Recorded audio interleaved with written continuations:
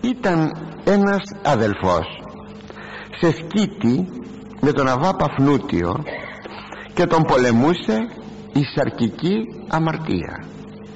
Και έλεγε αν πάρω δέκα γυναίκες δεν ικανοποιώ την επιθυμία μου ο δε γέρον τον στήριζε λέγοντας μη μιλάς έτσι παιδί μου πόλεμος είναι των δαιμόνων αλλά δεν πίστηκε. Πήγε λοιπόν στην Αίγυπτο και πήρε γυναίκα. Μετά από καιρό συνέβη ο γέρον να ανεβεί στην Αίγυπτο και να τον συναντήσει φορτωμένον με ζεμπίλια οστράκων. Και ο γέρον δεν τον ανεγνώρισε. Αλλά εκείνος του λέγει εγώ είμαι ο Δίνα μαθητής σου και βλέποντάς τον ο γέρον σε εκείνο το κατάντημα έκλαψε και είπε πως άφησες εκείνη την τιμή και έφτασες σε αυτό το κατάντημα; Πλην πήρες τις δέκα γυναίκες και στενάζοντας είπε μόνο μια πήρα και βασανίζομαι για να την χορτάσω ψωμί και του λέγει ο γέρον έλα πάλι μαζί μας. Και είπε υπάρχει μετάνοια αβά και εκείνος είπε υπάρχει. Τα εγκατέλειψε τότε όλα και τον ακολούθησε. Και μπαίνοντας σε σκήτη αποδείχθηκε στην πράξη άξιος μοναχός. Αγαπητοί μου αυτή είναι η ιστοριούλα και η οποία ομολογουμένως έχει πολλά και εμάς να μας διδάξει. Και είναι πολύ χαρακτηριστική μάλιστα η περίπτωση. Καταρχήν ότι ο πειρασμός προσβάλλει τους πάντες. Και τους λαϊκούς και τους μοναχούς. Δεν είναι περίεργον. Άνθρωποι ήμεθα κανείς δεν είναι άτρωτος απλήγωτος πειρασμού. Αυτός ο Κύριος Ιησούς με την ανθρωπίνη του φύση εδέχθη στην έρημο αυτόν τον τριπλούν πειρασμό όπως διαβάζουμε στο Ευαγγέλιο του Ματσέου και του Λουκά. Και βέβαια ο Κύριος απόθυσε τον πειραστή διάβολο. Και αυτό συνέβη μετά την βάπτιση του Χριστού στον Ιορδάνη. Αναφέρει μάλιστα το Ιερό Κείμενο του Ματθαίου. Τότε ο Ιησούς ανοίχθη εις την έρημον υπό του πνεύματος πειραστήνε υπό του διαβόλου. Ανοίχθη θα πει οδηγήθηκε. Εις την έρημον ευθύς μετά την βάπτιση ε, οδηγήθηκε λοιπόν εις την έρημον υπό του Αγίου Πνεύματος με σκοπό να δεχθεί πειρασμόν από τον διάβολο ώστε όπως γράφει ο Απόστολος Παύλος στην προς Εβραίους επιστολή του ότι επηράστη αλλά δεν δοκίμασε την αμαρτία. Και τούτο γιατί έμεινε πάλι κατά την προς Εβραίους επιστολή καθόλου όμοιος με εμάς έφερε την ανθρωπίνη φύση.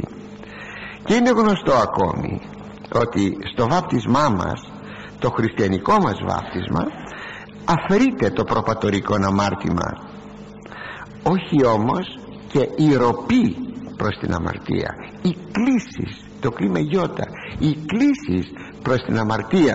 Αυτό δεν αφαιρείται. Γι' αυτήν ακριβώς ε, καλείται ο άνθρωπος να αγωνιστεί για αυτήν την κλίση να την υπερνικήσει διότι δεν είναι κατά μαγικών τρόπων η σωτηρία. Ο Θεός προσφέρει ό,τι προσφέρει αλλά και εσύ πρέπει να αγωνιστείς.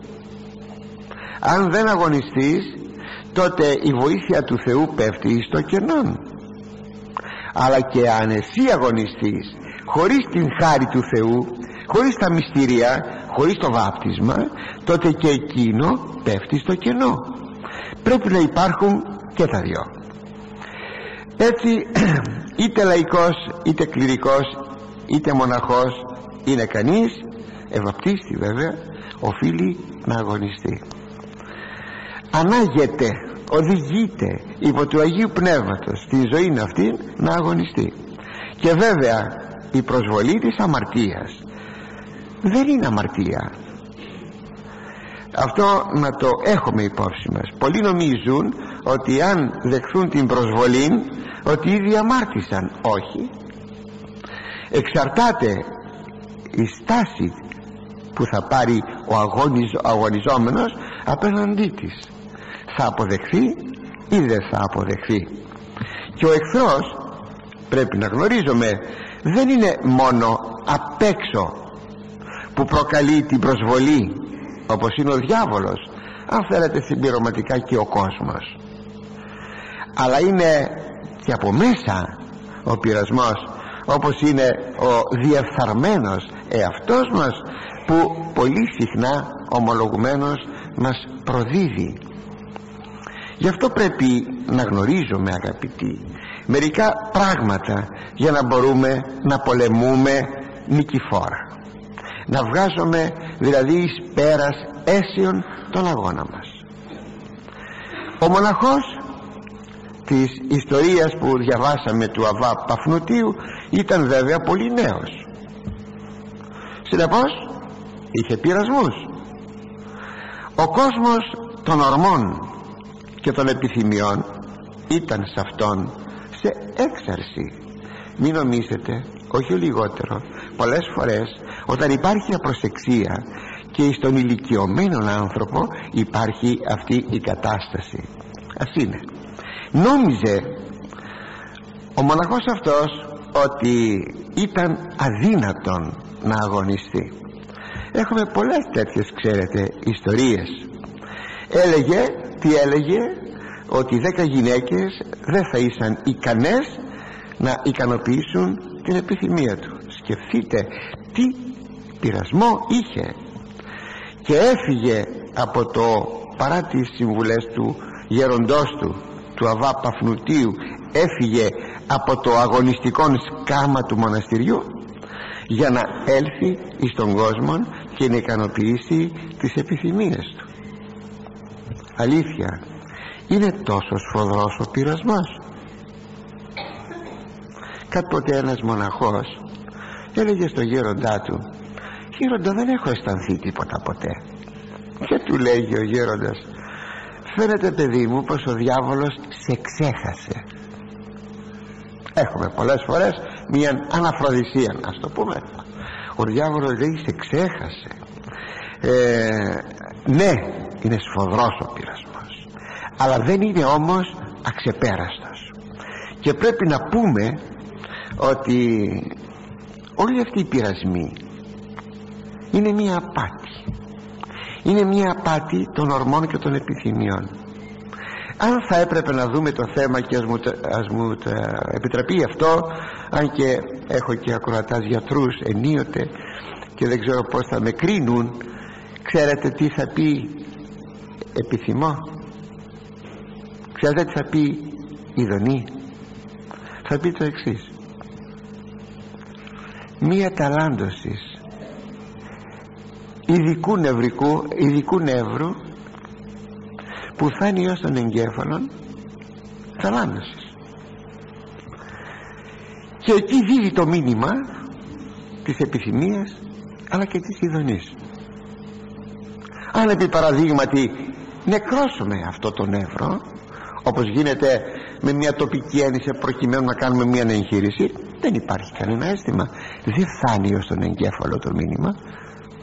Ώστε λοιπόν αυτό είναι η ειδονή ναι αυτό είναι η είδονη μια ταλάντωσης ειδικού νευρού που στέλνει το μήνυμα εις τον εγκέφαλο ότι αυτό λέγεται ειδονή απάτη.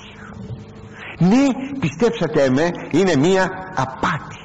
Ωστόσο ο Θεός έτσι τα οικονομεί έχει το λόγο του. Άλλο τώρα ότι η πτώση του ανθρώπου έβγαλε από το δρόμο του τον άνθρωπο και παρέκλεινε και το στοιχείο της είδονης έγινε πια πήρε τον ξέφρανο δρόμο της. Άλλη παράγραφος αυτό.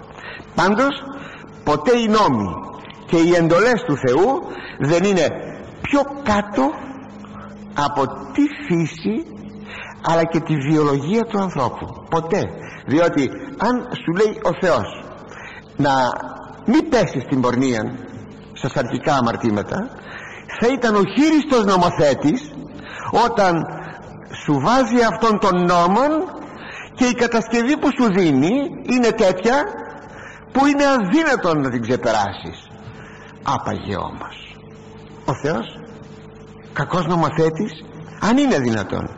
Για την αντιμετώπιση λοιπόν του πειρασμού χρειάζονται ωστόσο τέσσερα πράγματα όπως μας τα αναφέρει ο Αβάς Ισύχιος είναι στον πρώτον τόμο της Φιλοκαλίας στην 144η σελίδα.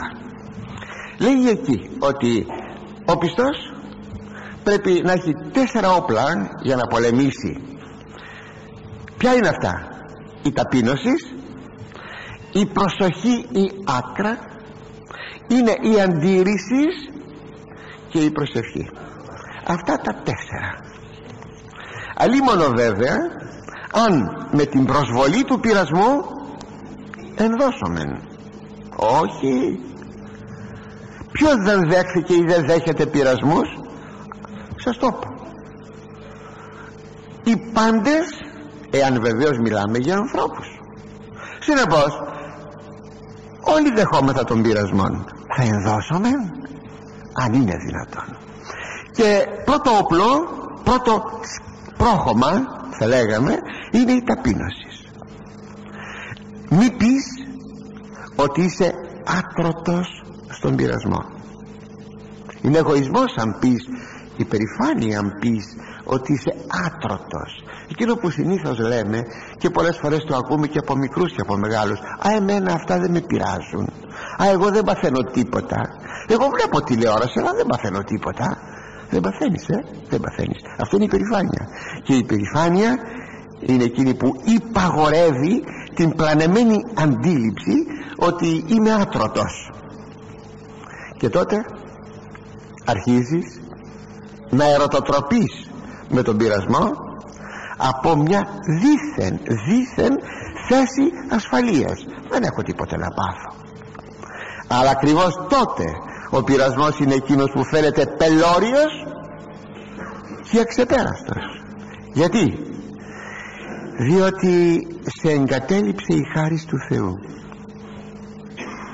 Ταπεινής δίδωση χάριν λέγει η Γραφή. Εσύ δεν είσαι ταπεινός. Μετά όμως όταν αρχίζεις να τρικλίζεις πνευματικά έρχεται ένας φόβος στην ψυχή. Επειδή εγκατελείφθης από τη χάρη του Θεού. Ένας φόβος μια ταραχή. Και τότε λυγίζεις και πέφτεις. Ο θαρώνης σε αυτόν λέγουν οι πατέρες πεσείτε θα πέσει πτώμα εξαίσιον δηλαδή θα πέσει πολύ χαμηλά εκείνος ο οποίος νομίζει που έχει την εμπιστοσύνη στον εαυτόν του. Ο θαρών ή σε αυτόν μετά έχουμε ένα ενδότερον πρόχωμα πιο μέσα προς εμάς. Είναι η άκρα προσοχή. Πάντα κατά τον Αβά ησύχιον. Όσο εξαρτάται από τον άνθρωπο μπορεί να ασκήσει αυτήν την άκρα προσοχή όσον εξαρτάται. Αλλά πάντοτε ο άνθρωπος δεν μπορεί να προβλέψει τι μπορεί να του συμβεί για να προσέξει αν και πρέπει να είναι πάντοτε άγρυπνος όμως πάντα δεν μπορεί να προβλέψει. Βγαίνει στο δρόμο, πάει στις δουλειές του αναπάντεχα εμφανίζεται μία εικόνα και δει ζώσα. Πολλές φορές είναι βέβαια και οι τυπωμένες εικόνες αλλά ζώσα εικόνα μιας ε, καταστάσεως πειρασμικής. Τότε τότε απλούστατα. Αν πάντα προσέχει και προετοιμάζει τον εαυτόν του να προσέχει τότε σε αυτήν την αναπάντεχη περίπτωση τον προστατεύει ο Θεός. Γι' αυτό όπως πολύ ορθά συμβουλεύει παρατηρεί, σχολιάζει ο Άγιος Κασιανός ο Ρωμαίος ότι στη γραφή λέγει πάση φυλακή τύρι φύλαγε με κάθε φύλαγμα φύλαγε συν καρδίαν γιατί λέει συν καρδίαν και δεν λέει στους οφθαλμούς να φυλάς με κάθε τρόπο τα αυτιά σου να φυλάς τα μάτια σου να φυλάς τις αισθήσεις σου εμπροκειμένου τους οφθαλμούς σου. Γιατί το λέει αυτό; Γιατί υπάρχουν οι αναπάντηχες περιπτώσεις. Που δεν παρασκευάζουμε εμείς τον πειρασμό; Τότε εάν κάπου τα μάτια σου συνέλαβαν μια εικόνα τότε τρέξε γρήγορα. Προστάτευσε την καρδία σου μην αφήσεις αυτό που είδες άκουσες κλπ να κατέβει στην καρδιά για να μην γίνει εκεί η σύλληψη της επιθυμίας. Και όταν συλληφθεί η επιθυμία τότε αυτή γεννάει την αμαρτία. Για ένα παράδειγμα. Τι μπορεί να πάθει κανείς όταν ανοίξει την τηλεόραση; Πηγαίνει. Να ανοίξει την τηλεόραση. Το κουμπί να ανοίξει. Εκεί πηγαίνεις να ανοίξεις την τηλεόραση ό,τι τυχόν δεις ξαφνικά μη πεις θα σε προστατεύσει ο Θεός. Όχι. Μόνο σου παρασκεύασες ή παρασκευάζεις τον πειρασμό. Έτσι λοιπόν μόνο για απρόβλεπτες περιπτώσεις προστατεύει ο Θεός. Μόνον. Τρίτο πρόχωμα προστασίας. Όλο και προς τα εδώ όπως τα λέγαμε βάζουμε χαντάκια όπως έβαλε στην αρχαία εποχή και γέμισαν νερό τα χαντάκια αυτά γύρω από ένα φρούριο. Έτσι προχωρούμε προχωρούμε. Τρίτο λοιπόν πρόχωμα προστασίας είναι η αντίρρηση. Τι είναι η αντίρρηση; Είναι η αντίσταση στην προσβολή. Η προσβολή του σατανά συνήθως προκαλεί θόρυβο και πανικό. Για να ε, σε κάνει να πέσεις να λυγίσεις. Κάτι εξάλλου το οποίο υπάρχει και στους αισθητούς στρατούς πως ο ένας στρατός θα πετύχει να πανικοβάλει τον, αντίθο, τον αντίπαλων στρατών. Είναι τέχνασμα είναι σπουδαίο, στρατηγικό της αυτό. Ο αγωνιζόμενος λοιπόν πρέπει να αντισταθεί για να μην πανικοβληθεί. Τι χρειάζεται εδώ; Η αρετή της ανδρείας που είναι μία ανδρεία, μία αρετή ξεχασμένη. Μιλάμε μιλάμε. Την αρετή της ανδρείας την έχουμε ξεχασμένη. Και όμως είναι θεμελιώδης και βασική. Έτσι αγαπητέ προσευλήθεις πες. Προτιμώ να πεθάνω παρά να επιτελέσω την αμαρτία. Ναι. Λέγει ο Απόστολος Παύλος στην προσεβραίους επιστολή του στο 12ο κεφάλαιο. Ούπος μέχρις αίματος αντικατέστητε προς την αμαρτία ανταγωνιζόμενη. Είδατε αντικατέστητε αντισταθήκατε. Ότι δεν αντισταθήκατε είπα έβαλα ένα σίγμα. Ούτω. Ε, ούπο. Όχι ούπος ούπο. Ε, δεν αντισταθήκατε λέγει μέχρι αίματος ε, ανταγωνιζόμενη την αμαρτία μέχρι αίματος ναι. Ποιος σας είπε ότι το να πω το όχι ιδία εις τους αρχικούς πειρασμούς ότι αυτό δεν αποτελεί ένα μαρτύριο μαρτύριο μαρτύριο ισότιμο με εκείνα τα των μαρτύρων. Χαρακτηριστικά γράφει ο αδελφός Θεός Ιάκωβος. Αντίστητε το διαβόλο και φεύξατε αφημών αντισταθείτε λέει στον διάβολο και θα φύγει από σας. Κατεργάρης είναι κούφιος είναι θορυβοποιός είναι. Μη φοβηθούμε. Το όπλο της αντιρρήσεως δηλαδή της αντιλογίας είναι πάρα πολύ σημαντικό. Δηλαδή δεν δέχομαι αυτό. Δεν αποδέχομαι. Αντιδρώ. Ο Κύριος είπε εις τον πειράζοντας σατανά στην έρημο είπα γιο πίσω μου σατανά πίσω μου ό,τι είναι δεν το βλέπω. Συνεπώς χάσου να μην σε βλέπω. Έτσι πρέπει να μιλήσουμε. Όχι να ανοίξουμε διάλογο όπως η Εύα με τον διάβολο όχι αμέσως αμέσως. Μάλιστα χρησιμοποιεί ένα ρήμα ο Άγιος Ιωάννης της Κλίμακος.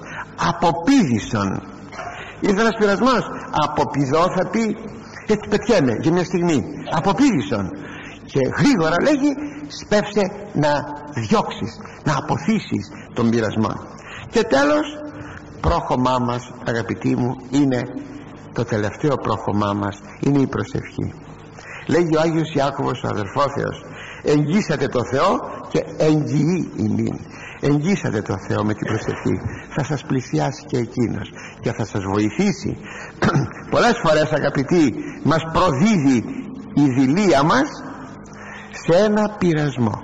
Πολλές φορές. Ποικίλινοι πειρασμοί. Δεν είναι μόνο οι σαρκικοί πειρασμοί. Η αρετή που μας λείπει θα το επαναλάβω γιατί είναι ανάγκη να το τονίσουμε είναι η ανδρεία.